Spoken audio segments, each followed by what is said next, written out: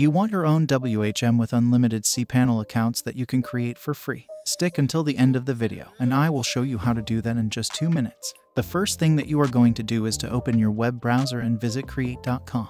Scroll down and head over to the packages where you will see one year of free web hosting or reseller hosting packages.